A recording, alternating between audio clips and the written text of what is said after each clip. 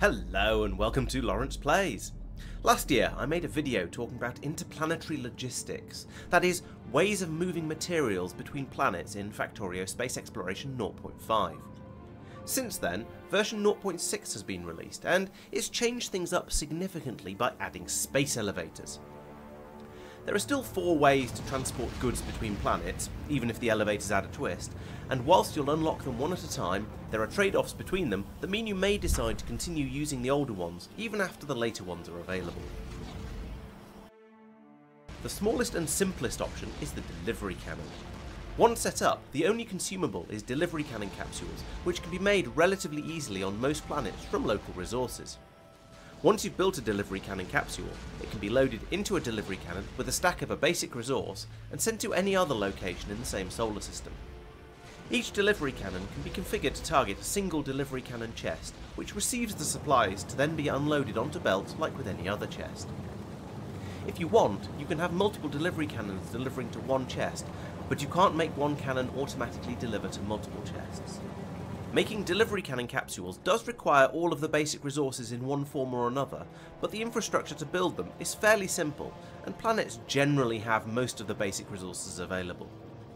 For the exotic materials, it's quite possible to use core mining to extract resources and then use the normal core chunks produced during processing to supply the parts to create the delivery cannon capsules. For us, this worked in theory, but with four people playing, we were using the resources faster than the core mining could realistically produce them. To solve this, we had to start normal mining from ore patches and then topping up the capsule construction supplies by using additional delivery cannons on Nauvis controlled by signal transmitters. With a single player, you might find that the supplies from core mining are sufficient, depending on how quickly you build. So, on the positive side, delivery cannon capsules are quite simple and they don't require any fuel. On the negative side, they only carry a single stack and they reload fairly slowly, so high throughput is difficult. And I did say that they don't take fuel, however they do require power. For low throughput, this generally isn't a problem. They only use 50 megawatts each while charging, but if you have several cannons firing constantly, you'll need to make sure your power grid can cope. You can only ship certain resource types around. Basic resources such as ores and metals are fine, but manufactured goods can't take the impact of launch and landing. You will also need some form of communication system to ensure that the cannon stops firing before the receiver chest is full, since sending a capsule to a full chest will cause an explosion, damage to the surrounding area, and loss of most of the resources you are sending. But don't worry, I've shown you how to set that up in another video. Finally, don't forget that they only work inside the current solar system, you can't send them interstellar. The next option is the cargo rocket.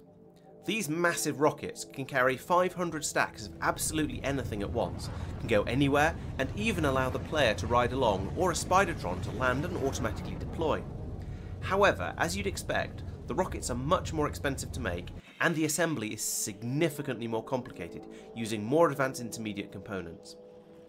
Because the rocket carries so much cargo, the cost isn't quite as bad as it initially seems, however the construction process is still complicated enough that I wouldn't want to build it up on an outpost. Rockets will fly to any landing pad with the correct name, and won't leave until the landing pad they're headed for is empty, which means you don't need any communication systems for the very basic rocket infrastructure, and you only need one rocket launch silo per resource, instead of needing one for each destination. You will need a separate landing pad for each resource, or work out a communication system that will allow you to send mixed rockets. Where delivery cannons are many to one, Rockets are typically one to many, but if you have multiple sources of a resource, such as stone or sand, then you could set up a many to many system for a single resource. This makes things a bit simpler to set up, however you will probably want to set up a system to ship the rocket parts and rocket capsules out from your central factory when the outpost starts to run low, and you'll need to generate rocket fuel on site. The amount of rocket fuel used depends on the size of the planet it's leaving and how far the rocket is travelling, but it can require very large amounts for going between planets. Another major downside of rockets is that they have a tendency to lose cargo. Sometimes the rocket will crash on landing, scattering the cargo across the landscape, and even on a successful landing, a percentage of the cargo will be lost, so make sure you pack spares. Later on, you'll do research into rocket improvements. These reduce the amount of cargo lost, lower the chance of crashing, and also increase the number of rocket parts you get back for reuse. But by the time you've made rockets decently cheap, you'll probably have spaceships anyway, and the reuse still doesn't include fuel, which is a large part of the cost. The rocket parts that you get back will be left at the destination too, You'll need to work out how you want to transport them back to where they're needed, but at least you can stack them, combining 5 rocket parts into a single item, meaning you can fit almost 24 rockets worth of parts and capsules into a resupply rocket. I should also mention that the flexibility of rockets makes them very useful for establishing new outposts. You can fly out in your rocket with all the machines you need, that 500 stack inventory will go a long way, but don't forget to consider how you're going to get back since you won't have your rocket anymore, and that a chunk of whatever you pack will be lost during the crash landing. I recommend checking out my What to Take to Space video for a useful extra trick for early game space travel in 0.6. The next option you'll discover is spaceships. Finally, we've found a fully reusable transport system.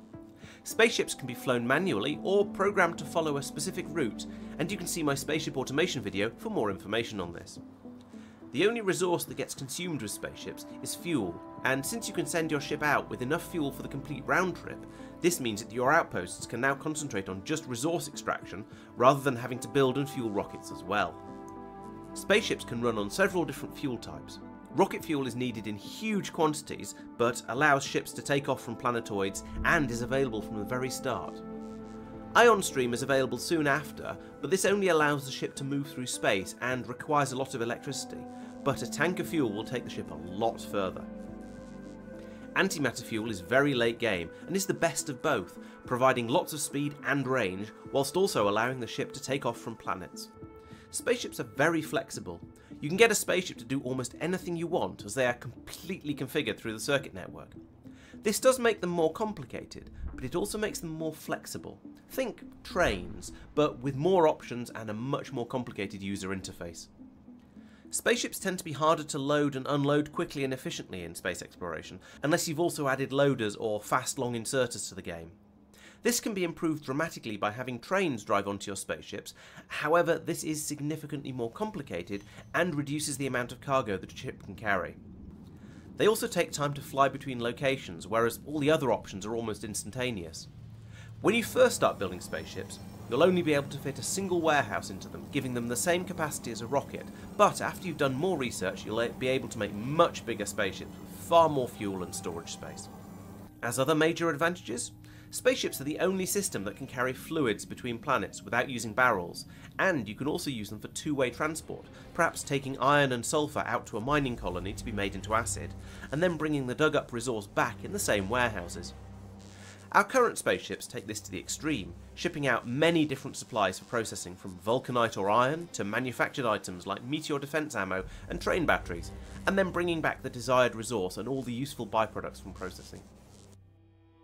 Spaceships pair extremely well with the newly added space elevators.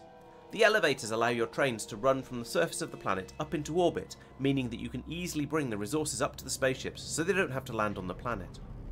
This means that you don't need the rocket boosters to leave the planet and can just use ion engines, saving an enormous amount of rocket fuel in the mid-game. Space elevators do require elevator cable to be provided, this is used up at a steady rate, typically around 4 to 6 per minute, and if the elevator runs out it will collapse, requiring a large quantity of new cable to be delivered to rebuild it. Whilst this won't cost any extra to rebuild versus keeping it supplied, cutting off the elevator temporarily can cause issues. A functional elevator can also transfer power, meaning you can have a large solar array in orbit powering your base from above, increasing the solar efficiency and neatly getting around the requirements for fields of accumulators. Elevators are great, but the cable is made from three of the exotic materials, which means that it's quite expensive, and you need to have the infrastructure up and running before you can start to use them. They're also fantastic for bringing supplies up to Norbit from the ground very, very cheaply and easily, allowing you to do a lot more of your processing on the ground where productivity modules work. The fourth and final option is Arcolink storage chests. These are chests with a shared inventory which can be placed on different planets. Anything you put in one chest will be available in the other. This allows for instantaneous transport of goods as fast as 8 inserters can load them. The upsides are pretty obvious. No ongoing resource costs and no limit on what can be transported, apart from liquids. The very significant downsides are that they are extremely late game, requiring Deep Space Science 4, and they require arcospheres to build, and arcospheres are very hard to get hold of. I haven't used these chests yet in my playthroughs, and to be honest, I don't really expect to. I think there are more valuable uses for the arcospheres I find, but there's a very valid argument that having one to bring Naquitite back in some form is worthwhile, especially if you can use very fast belts and loaders. So, those are your options. Let's take a look at the resource costs of each one. I'm going to ignore the setup costs, because this will tend towards zero as you deliver more and more resources. To keep things simple, each item of ore or stone that you pull out of the ground costs 1, except for crude oil, which I'm going to say is worth 0.1, as fluids are denser in Factorio. Water is free. From this, we can find the costs of various products. Iron plates cost 1 iron ore, ignoring productivity bonuses, and so they have a cost of 1. Green circuits cost 3 copper cables and 1 stone tablet, or 1.5 copper and 0.5 stone, giving a total cost of 2. Following this logic, vulcanite blocks and cryonite rods cost about 10, beryllium plates are 12.5, and iridium plate just over 60. Using this method, a delivery cannon capsule costs 130 resources and a rocket costs 82,800, which comes to 166 per stack.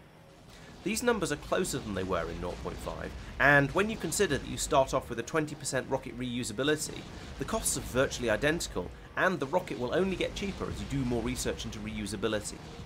However, you do still need to think about the logistics for getting the rocket parts to where they're needed, which is about a 4% increase, and more seriously, the fuel costs.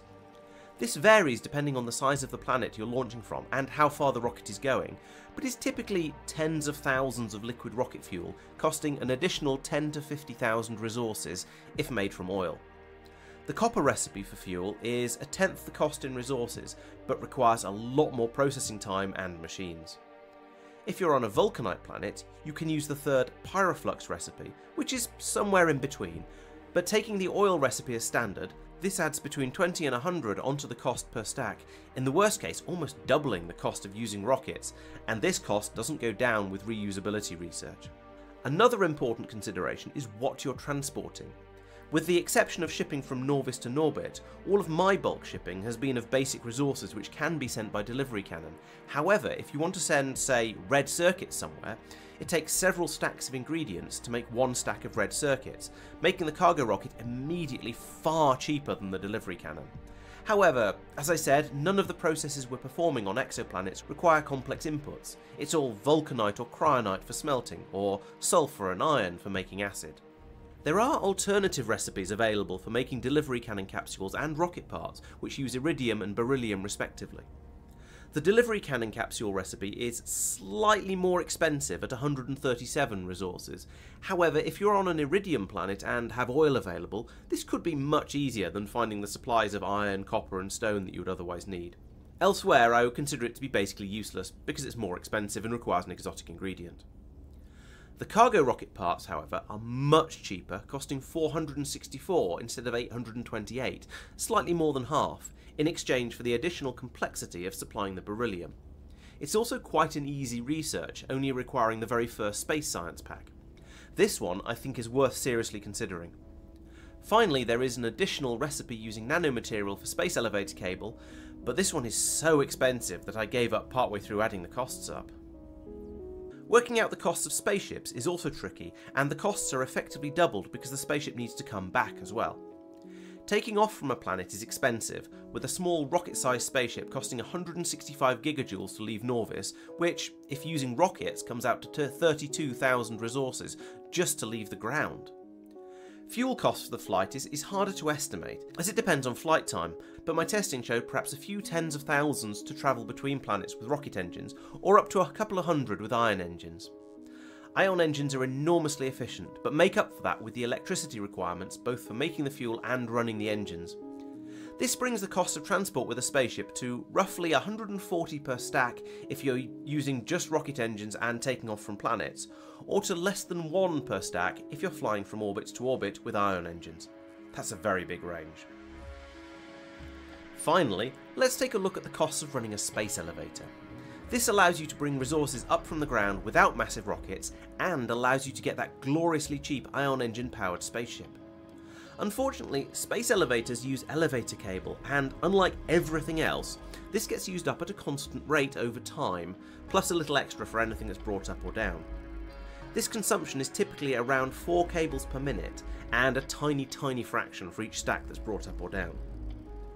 Elevator cable requires lots of exotic materials and costs 310 per piece, giving us a per minute cost for Nauvis of about 1240, and that's whether you're shipping resources through it or not. Whether this is worth it is up to you to decide, but remember it also passes power down the cable as well. Our Nauvian space elevator has trains running up it several times per minute, giving a cost per stack of under 10, However, on other planets, the elevators are used much less, making them effectively many times the price. However, as long as a spaceship departs each planet every half hour, they will still be cheaper than blasting off from the surface. I'm not going to try to give a cost for Arco chests, because it's meaningless in this comparison. It's a one-off cost, but it also uses items which are effectively priceless on my scale, because they're not unlimited in the same way that everything else is. Oh, that's a lot of numbers. I hope you're still here.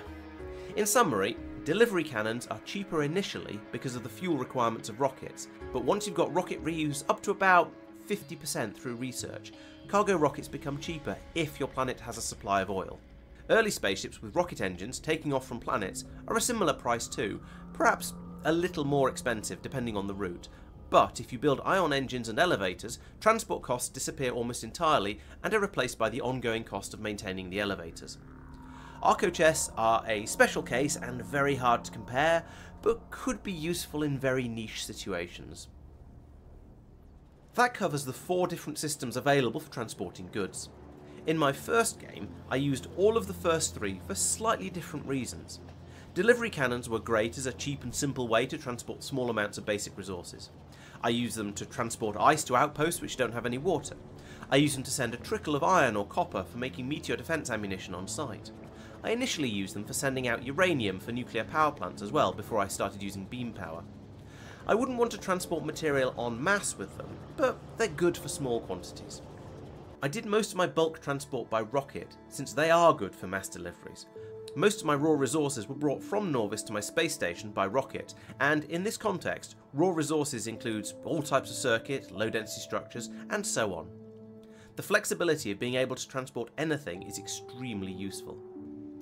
If I built a new logistics route in late game, I'd go with spaceships from the start because they don't require the extra logistics of rocket parts, but where I already had a rocket system set up, it didn't feel worth replacing it, at least until something went wrong with it or it needed expanding.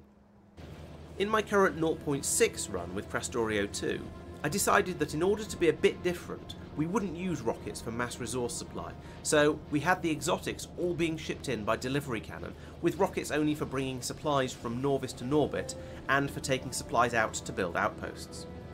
We then tried to rush spaceships, but with the increased difficulty of Krastorio, that took a bit longer than expected. We have now transitioned over to using elevators from all planets to their orbits, combined with spaceships to go from one orbit to another. These spaceships will bring out all the resources required on a planet, from sulfur to make acid to the cables to keep the elevators working, and then transport back the resources and any byproducts that can be fed back into the processing system at the other end. All in all, there are lots of ways to transport supplies between planets, You'll probably find yourself working through most of them during a space exploration run, with different ones working best at different times or for different uses. Have you done anything very different, or perhaps an interesting implementation of a similar idea? Let me know in the comments or come along to the weekly stream and we can talk about it live. Thanks for watching.